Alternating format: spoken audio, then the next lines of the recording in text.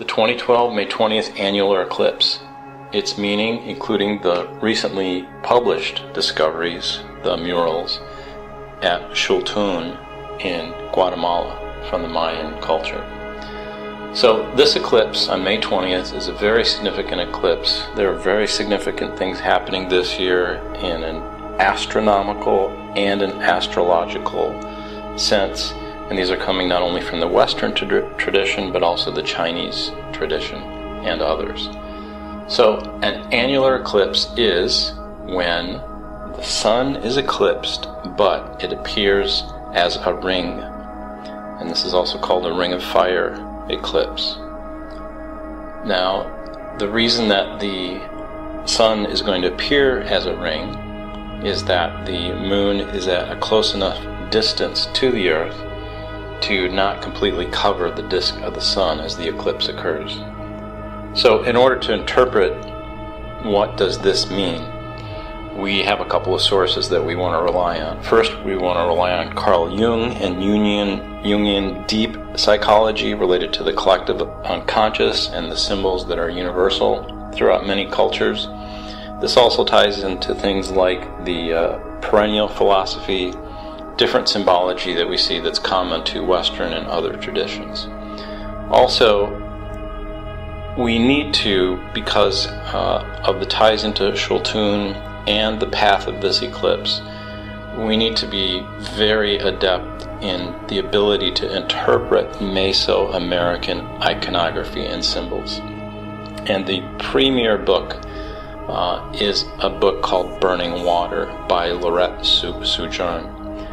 And this book is filled with uh, basically unexpected wisdom. The first number of pages in the book, it seems like a, a traditional archaeological study until you get to where she tar- starts talking about Quetzalcoatl. So we're going to rely on these sources plus other sources from the Chinese, Chinese and the Mayan culture, and the Egyptian culture, as we'll see later. So let's back up and start the symbology, uh, the interpretation. So first we have the sun what is the sun. If we consider the elements and the different states of matter, the sun is very much at a far end of the spectrum. Uh, it's very much away from a solid state. Now, at the same time, we need to consider what is the moon. The moon is way at the other end of the spectrum. Uh, whereas the sun is continuously in inner and outer motion, continuously self expressive, the moon is very solidified and its expressiveness is more in its ability to reflect rather than to directly emanate light. And what do we have in between those two extremes on the spectrum of the manifestation of matter? We have us in the middle, we have the earth. The earth isn't too hot, it isn't too cold, although it does have a solid crust. It has uh, very fluidic oceans, very fluidic or uh, movable atmosphere. Uh, it also has a very fluidic lava structure underneath the surface, and we don't know, it may or may not have a totally uh, solid iron core. So, as we back up now again, what is the sun? The sun is taking a very generative, almost hyper-dimensional, beyond this dimension manifestation. The sun has been considered as a representative or a symbol of God, of consciousness. So the sun is representing consciousness. And the moon is representing the manifestation into matter. So when we have an annular eclipse like this, we're we're looking at or witnessing or participating in a juxtaposition. The overlay or the joining, that's a very critical concept, the joining of the high states of consciousness with a physical manifestation. And the visual effect is this ring, this symbol of eternity, but it's, it's a form of consciousness that is meant to be observed by us and has a significant impact by us. So, when we witness this event, we also have some other features or other perspectives to bring in. one thing we have to keep in mind is that not coincidentally, 2012 is the year of the metal dragon. Um, I know some people who have very uh, strong, uh, perhaps narrow views uh, about what a dragon is, that it's evil or whatever. Uh, these are religious biases, so uh, if your initial reaction is to think of a dragon as something that's not good, then I ask you to, to suspend that idea and to understand that in the Chinese culture, dragon represents energy. A dragon is energy in motion, and that's a crucial concept in order to understand the symbolism behind this eclipse. All right, so what does this eclipse and the path of this eclipse tell us? Well, it has to do with a prophecy. No one's sure where this originated from uh, but it is in the Andean culture prophecy of the eagle flying with the condor. And this is a state that has been manifesting energetically, and the energies of the Americas joining together. So let's look at the path of this uh, eclipse, and we'll come back to the eagle and the condor in a minute. In this diagram, you can see that the beginning of the eclipse on the left is in Asia, and it's going to go across the Pacific and then it's going to come inbound into California.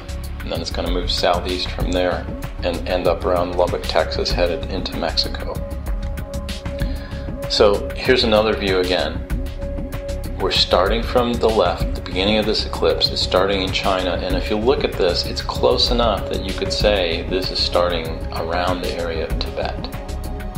And this shadow from the eclipse the sun backlighting the moon, this ring of light is going to move from the left, from Tibet, and it's going to move into the Americas. So, one of the concepts that we want to introduce here is the idea of earth chakras. And along with earth chakras, there is also another understanding from metaphysical uh, thinkers and uh, different spiritual sources that the energy of the central anchoring point of consciousness or life on the planet in terms of a spiritual portal has been moving from Tibet into the Andes for quite a while. And in fact, if we look at Tibet here, nestled next to China, Tibet it's been a spiritual center for a while. It is a nodal point on the planet. It's also called the roof of the world. And we know from Tibetan Buddhism and other deep traditions such as Bon and other long, long ancient traditions um, that Tibet has been a center on this nodal point for quite a while. Now, the shift is along with this path of the shadow of the angular annular eclipse is coming and it's moving from Tibet. It's moving into the Americas. So if we look at the Andes and we look at the geography and the topography of this place, it's very interesting that just as Tibet was a high mountain area, so are the Andes. The Andes is this high mountain area. So, symbolically, what does the path of this annular eclipse mean? It's indicating that there is energy that's moving from Tibet and it's moving into the Americas. And where does this eclipse shadow come onto the coast of the United States, of the Americas? Well, that's also important. Mount Shasta happens to be within the main part of the shadow. Mount Shasta is associated with being um, a hyperdimensional portal. Some people believe that it's an angelic area or that there's an ancient civilization that's living underneath the mountain, hyperdimensional situation. All these mystical ideas about Mount Shasta. Also, the Buddhists look at the characteristics of the mountain and declare it one of the sacred sites, one of the primary sacred sites on the planet. Then the path of this eclipse goes southeast from Mount Shasta, a very special place, and it crosses through the desert southwest and it crosses very near to the Hopi mesas. And the Hopi are one of the primary holders of energy on the planet. They're one of the primary priesthood lineages. Um, in their mythology, they have gone through multiple earth changes in the past and have been protected by the ant people and have gone under the ground and been brought up later when everything was okay. So it's very significant that the path of this goes uh, through the Hopi land. And then the path of this eclipse starts heading down through Texas and ends around Lubbock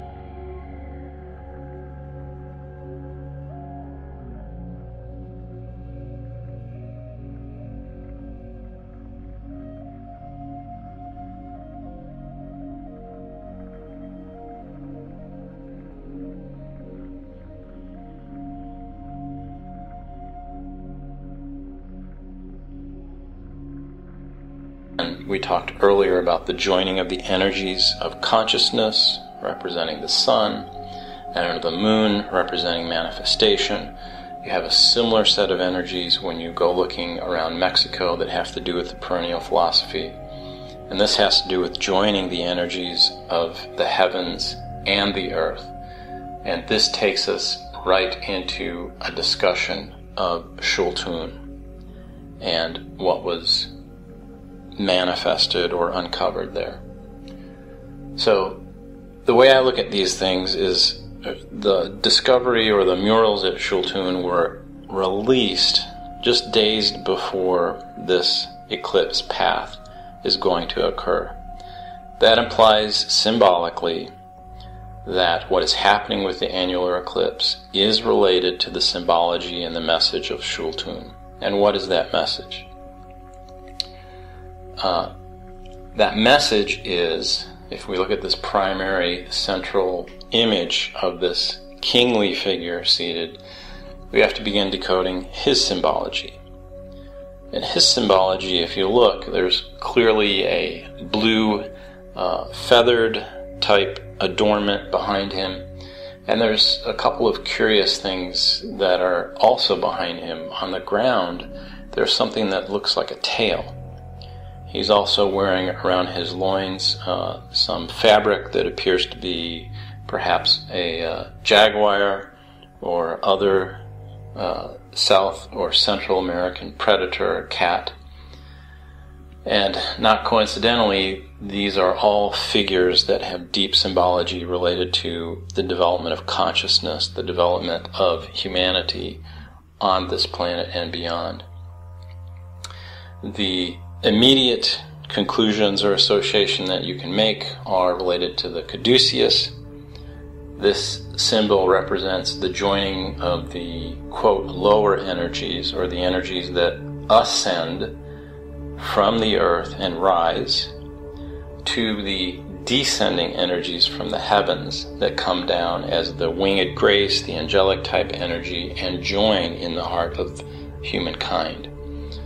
So the fact that the path of this eclipse is headed straight from Tibet through the Pacific, down through a angelic portal area around Shasta, through one of the main spiritual centers on the planet, pointing right into Mesoamerica, causes us to have to consider the appearance of Xultun as a message that's all connected to this event.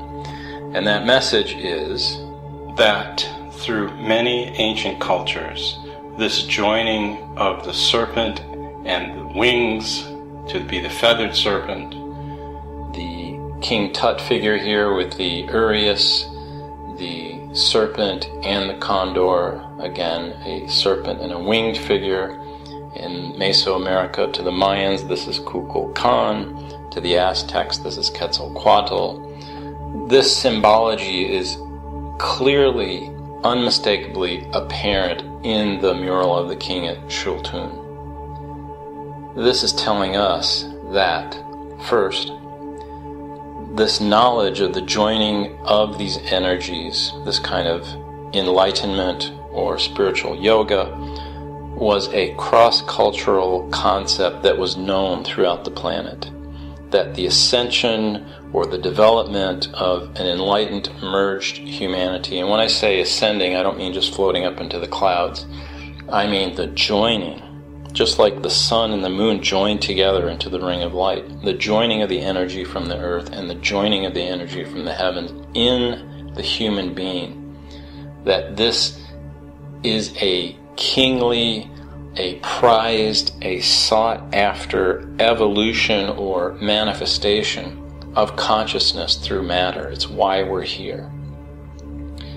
And this path of the eclipse is showing us that this movement of the energy that was process, prophesied from moving from Tibet into the Andes is going to trigger, is going to support a wider, stronger transformation of humanity, of many more people now, in an accelerating way, to realize that they are both of the earth, of the heavens. They are the Christ children, the beings who are the Quetzalcoatl, who are the return and the manifestation of the balanced, harmonic, living, breathing humans on this planet. So, this is a very important time on Sunday. Please spend some time in prayer.